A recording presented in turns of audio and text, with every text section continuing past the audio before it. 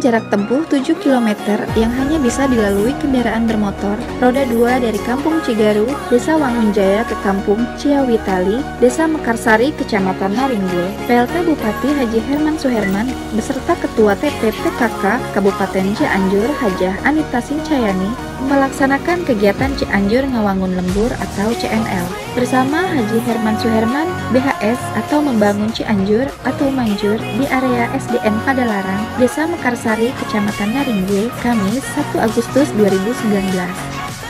Kegiatan pelayanan dengan cepat yang dilaksanakan di antaranya perekaman data untuk pembuatan IKTP, kartu keluarga, dan akta kelahiran, pengobatan kesehatan, kitanan massal, serta pemasangan implan atau pelayanan KB. Serta PLT Bupati menyerahkan santunan kepada anak yatim piatu, jompo, dan bantuan dana kepada DKM Masjid Desa setempat serta bantuan lainnya untuk mewujudkan Cianjur yang lebih maju dan agamis yang disalurkan melalui Dinas PUPR, Dinas Pertanian, Dinas Pendidikan, Dinas Kimrumkan, Dinas Kelautan, Perikanan, Peternakan, Dinas Tenaga Kerja, Dinas Perizinan, Disparpora, dan PDAM Tirta Mukti. PLT Bupati dalam sambutannya menyampaikan banyak terima kasih kepada masyarakat Desa Mekarsari yang sudah menyambut kedatangannya. Desa ini merupakan desa yang tertinggal karena paling ujung di Cianjur Selatan. Desa yang kendaraan mobil juga tidak bisa masuk. Serta PLT Bupati menyampaikan akan merencanakan pembangunan jembatan tepungan yang menyambungkan dari Desa Wangunjaya dengan Desa Mekarsari. Dengan pembangunan jembatan diharap taraf hidup masyarakat Desa Mekarsari bisa lebih meningkat dan lebih maju, supaya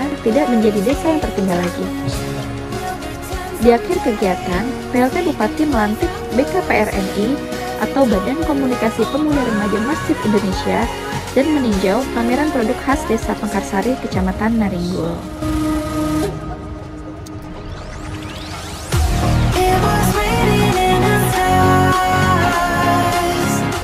Alhamdulillah pada hari ini saya dengan jajaran Kepala UPD Kota Cianjur bisa berkunjung sampai ke Desa Kasari dan pesan saya ini luar biasa.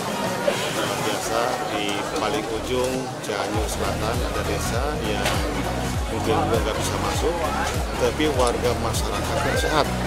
Bahkan saya tanya tadi ada yang umurnya 100 tahun ke atas saya sementara masyarakat Cianjur ini uh, ada usia harapan hidup. Hanya 69 tapi di sini usianya pada tinggi dan saya berkesimpulan di sini itu sehat.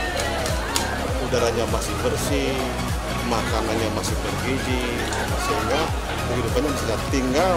Kita menyediakan sarana di pasar khususnya daerah Insya Allah saya ke Cianjur ini akan saya perjuangkan dua tahun ke depan ini bisa terrealisasi pembuatan jembatan ya akan kita putuskan apalagi Cianjur Selatan ini kan kita diperuntukkan untuk DMW dan persetujuan antara pemerintah daerah dengan uh, DPRD sudah disetujui mudah-mudahan tidak terlama dan Cianjur Selatan itu kaya dengan dengan tempat wisata. Mudah-mudahan wisata-wisata itu bisa menjadi potensi pendapatan asli daerah Cianjur Selatan itu harus dikembangkan mudah-mudahan ya tim Cianjur Selatan Cianjur Selatan akan lebih cepat dalam pembangunan infrastruktur dan sumber daya manusia.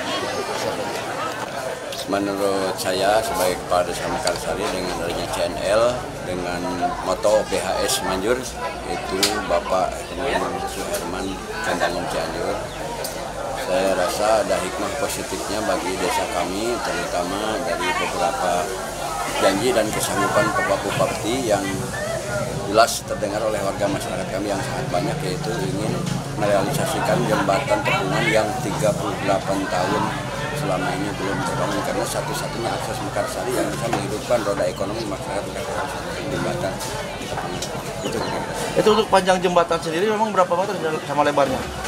Kira-kira bisa dipersempit juga bisa diperpanjang. Sementara setelah kami ukur kemarin ada di titik 24 meter kalau biaya saya rasa kami bervariasi bisa tergantung bikin jembatannya seperti apa. Harapannya nih pada setelah dikunjungi harapannya? Harapan saya yaitu satu-satunya adalah dengan adanya akses roda empat masuk perekonomian masyarakat desa Mekarsari akan meningkat dua kali. Barang yang datang dari kota lebih cepat mudah dan murah barang yang dari kita lebih mahal. Sehingga dua keuntungan dari masyarakat. Oh untuk ini ini pengen ditambah nih. Untuk di desa Mekarsari sendiri kan ini termasuk tergolong desa tertinggal ya ini belum ada kendaraan roda empat ini apa nih Ya itu, harapan saya dengan adanya jembatan tepungan itu akan lancar roda empat ke sini. Kalau lancar roda empat ke sini, perekonomian itu barang yang dari kota itu akan mudah dan murah serta cepat. Dari kita juga akan lebih mahal meningkat harganya karena tertekan biaya transportasi. Jadi intinya pengen dibangun jembatan gitu. Ya, betul Pak. Ada penghubung jalan jembatan berapa Pak? Panjangnya Pak. Nggak ada berapa Oh ada tiga akses, satu dari akses Cidaun, tapi wilayahnya bukan wilayah kami, terus Tepungan, yang, per- yang pertama Nagrog.